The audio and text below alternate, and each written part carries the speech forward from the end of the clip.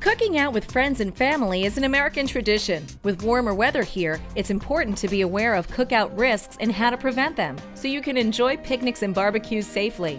It's important to thoroughly cook all meats to destroy harmful bacteria. Poultry should be cooked to 165 degrees, ground beef to 160 degrees, pork to 145 degrees, and steaks and chops to 145 degrees.